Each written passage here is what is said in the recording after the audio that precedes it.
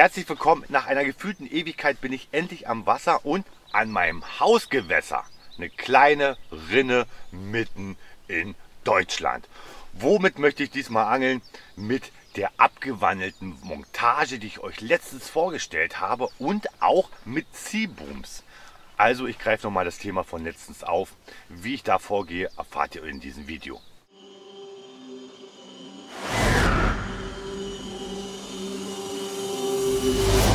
Als erstes werden wir zusammen die Montage binden, Schritt für Schritt, Step by Step, getreu dem Zack Fishing Slogan.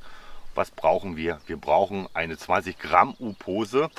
Wir brauchen Mr. Wallerhook in der Größe M und wir brauchen Mr. Wallerhook in der Größe S. Dann vernünftige Wirbel, kleine vernünftige Wirbel,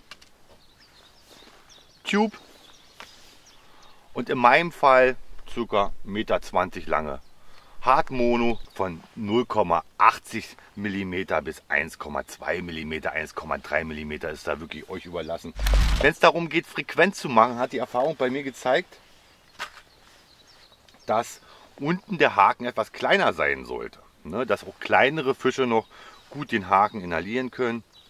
Natürlich nicht zu klein, weil es kann ja immer sein, dass noch ein großer einsteigt.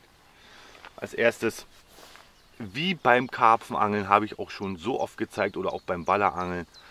Von der Hakenspitze nach oben raus. Ne? Und dann fangen wir ganz locker fluffig an. Ein paar Mal rumzuwinden. Manche sagen da 5, 6 Umdrehungen. Ich zähle da gar nicht mehr mit, weil äh, die ganze Sache ist nachher so fixiert. Da geht auf gut Deutsch fast gar nichts auf. Eigentlich heute noch nie gehabt. Ne? Schön stramm ziehen. Wie hat Herr Müller das jetzt gemacht? Ihr seht, es ist äh, eigentlich alles easy peasy. Also wie beim Karpfenangeln, oben hier rein, da raus, ranlegen. Hier ist der Bogen, wo kein Knick ist, wo es nicht endet. Da wickeln wir zuerst rum und dann machen wir fünf, sechs Umdrehungen. Wie gesagt, ich zähle da gar nicht mehr mit. Und jetzt gehen wir von oben Richtung Hakenspitze wieder raus. Passen auf, dass wir keinen Knick reinmachen.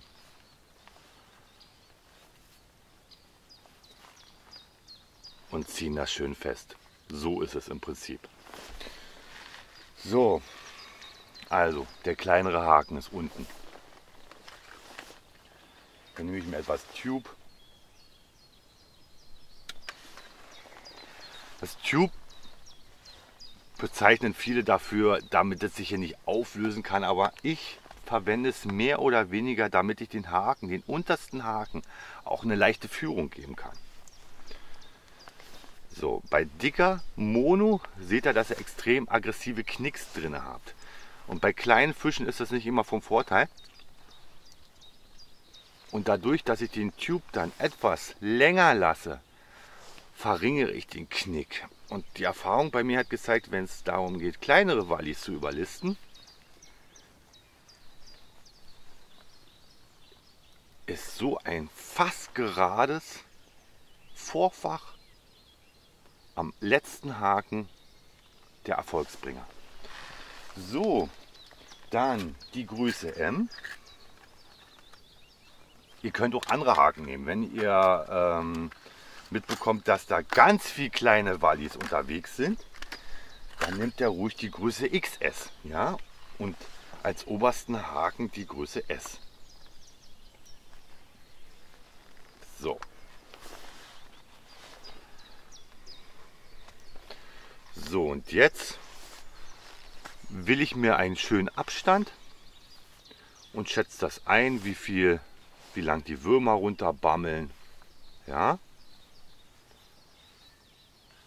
So, und binde das wirklich auch bewusst versetzt. Ja? Eins, zwei, drei, vier, fünf. Zack. Ihr seht, es wird ein richtig kurzes Vorfach. Festbinden. Zack. So sieht es aus. Ja? Und das ist im Prinzip die Haarmontage, die euch unser Mr. Waller gezeigt hat, nur etwas verlängert. Jetzt noch mal ein bisschen Tube drauf. Und bei dem Tube hier, bei dem letzten, es kann ja immer ein großer einsteigen. Da ist für mich wichtig, dass das hinten frei bleibt. Ja, damit es einen aggressiveren Greifeffekt hat. Falls wirklich ein großer einsteigt. So, dann war ich schon fast fertig. Ich mache jetzt den Stopper.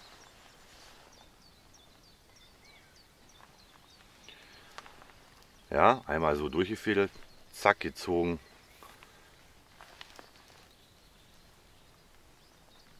Zack, fest. Die U-Pose. Zack. Jetzt nochmal ganz langsam durch.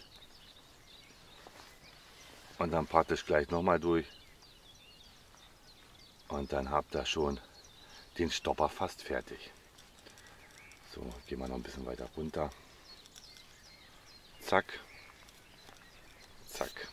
Fertig. Ja, so sieht die ganze Sache aus. Dann brauchen wir einen vernünftigen Wirbel. Bitte kauft euch keine großen Wirbel. Also sag mal, diese hier sind schön klein und haben eine Tragkraft von, haltet euch fest, 185 Kilo. So, wie machen wir das hier? Einmal durch. Ja? Noch ein zweites Mal durch. Zack. Zweimal durch. Also wie beim Stopper. Ja? So, jetzt einmal, einmal durch und noch ein zweites Mal.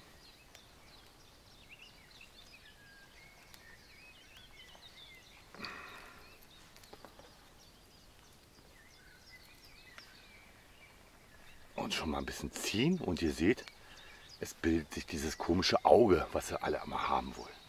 Das ist aber bei kleinen Fischen gar nicht nötig, aber man weiß ja nie, was wirklich unterm Strich nachkommt. Und dann mache ich einfach einen doppelten Knoten. Man könnte jetzt auch ähm, einen Achterknoten nehmen, aber ist total überzogen. Ja, und für das Bauchgefühl das letzte Stück hier noch mal ein bisschen angesenkt. Zack, zack, breit gedrückt. Das verhindert dann, wenn es doch aufrutschen sollte, dass hier ein Widerstand ist. Genau an diesen Knoten. So. Ihr seht, wie kurz dieses Vorfach ist. Ja? Also ich sag mal, von der U-Pose bis zum Wirbel sind es vielleicht 60 cm oder 70 maximal. Ja? Das wähle ich aber wirklich gewusst, um in Grundnähe zu fischen. Und ja, die kleineren abgreifen zu können. Wenn ich an meinem Hausgewässer unterwegs bin, habe ich auch immer eine Stationärrolle dabei, wirklich um werfen zu können. Dann ist nämlich ganz primär Werfen bei mir angesagt. So, ich hoffe ja, dass wir, wenn der Erfolg weiter so bleibt, auch irgendwann eine Stationärrolle haben. HR20 ist super im unmittelbaren Bereich zum Werfen oder zum Auslegen auf riesengroße Distanzen. Aber wenn es wirklich darum geht, ja, zu werfen, 70, 80 Meter oder so, kommen wir dann an die Grenzen. So, wie geht es jetzt voran? Weiter. Als erstes ein Ziehboom. Ganz einfache schnittere Denk-Ziehboom. Und jetzt zu diesem Punkt muss man sich im Klaren sein, was möchte man? Möchte man eine gestoppte Montage haben, eine feste Montage oder möchte man den Anhieb selber setzen können? Und ich bin da der große Freund, dass ich den Anhieb selber setzen möchte. Und äh, hat sich auch gezeigt, wenn große Fische sind, die ziehen ganz langsam voran.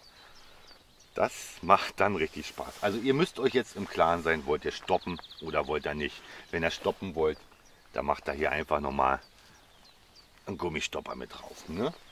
Ich möchte es freilaufend haben.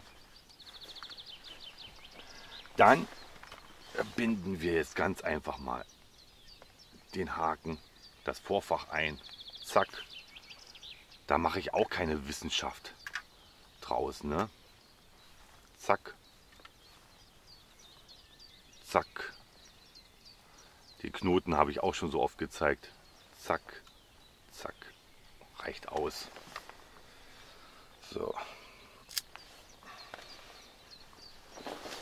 So, und dann wieder fürs Bauchgefühl. Gott, hatte Müller das Feuer gelassen. Wieder dahin.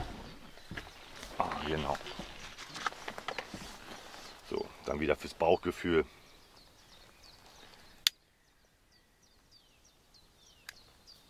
Zack. So sieht es aus.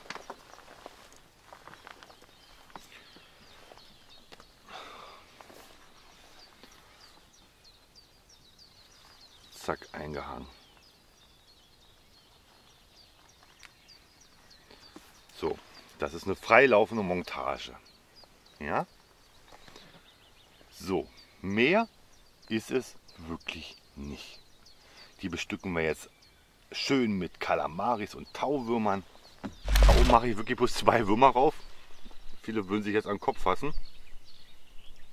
Warum nur so wenig? Wenn ich über Nacht die Montage draußen habe, dann kommt da mehr. Dann nehme ich nochmal so eine Tentakel und pick die rüber, damit die Würmer sich nicht runterfubbeln. Und hier unten, das ist der weitaus wichtigste Haken. Da kommen so drei, vier Würmer rauf. Wichtig ist immer prüfen, ob alt schwimmt. Aber da sind so wenig Taubenmaden dran. Das schwimmt schön verführerisch. Ihr seht da unten, dieses kleine Paket sondert sich praktisch ab, ist separat die Anbeißstelle mehr oder weniger. Den Wurm, der da überhängt, den werde ich noch ranmachen. Dieser Wurm, den picke ich noch mit drauf. Dass es ein richtig schönes, kompaktes Paket ist. So, ja. Warum geht denn da eine Steinpackung los? Jetzt müssten die Alarmglocken losgehen. Die Steinpackung ist nicht ohne Grund da. Die ist da, weil der Fluss dort permanent Sediment wegträgt und dort ist eine Rinne. Dort lohnt sich wirklich mal mit dem Echolot lang zu gucken, ob es wirklich ja, tiefer wird. Und ich weiß aus Erfahrung, dort sitzen viele kleine Wallis. Das ist die Kinderstube in diesem Fluss hier. Ja, und da werde ich jetzt rüberwerfen, genau vor dieser Kante. Also ihr müsst euch vorstellen, da geht die Steinpackung los und sie geht bis da unten runter. Ja, das muss man sich alles so abmessen und vor allen Dingen mit dem Echolot gucken. Nichtsdestotrotz, die Routen gehen da raus. Also ihr seht, es ist ein riesengroßer Unterschied. Da ist überall, überall Schilf. Das ist für die Nacht sehr gut, solche Schilfregionen. Jetzt, wo die Fische Leichen da jagen die großen Fische rein und suchen sich die Futterfische. Das ist so eine Stelle für die Nacht. Aber jetzt für den Tag definitiv für die kleineren Frequenzfische, sage ich mal, werde ich jetzt diese Stelle beangeln. So, das war's schon. Plumpsangeln. Bremse so eingestellt, dass Schnur genommen werden kann mit relativ wenig Abzug. Ich habe auch keine Glocke oder irgendwas dergleichen dran, weil ist mitten am Tag. Ich werde vor der Route sitzen bleiben und dann werde ich schön den Anhieb setzen, wenn was kommt. Das Köderpaket ist jetzt auf einer richtig guten Stelle gelandet. Das heißt für mich warten und hoffen.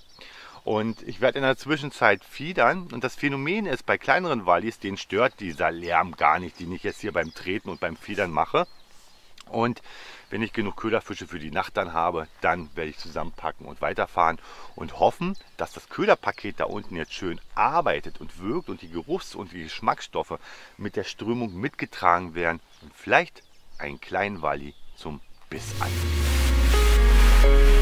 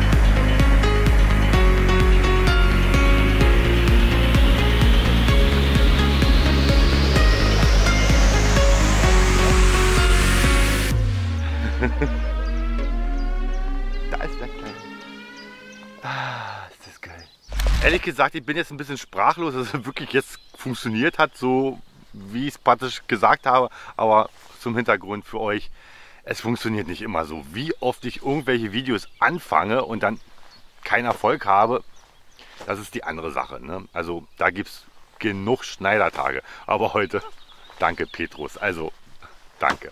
Äh, in diesem Sinne, bleibt alle gesund. Äh, ich hoffe, euch hat das Video gefallen. Also nimmt diesen Ratschlag von mir an. Und wie gesagt, der ein oder andere Fisch wird extra kommen und auf der Habenseite verbucht werden können. In diesem Sinne, wir sehen uns. Bis dann. Ciao.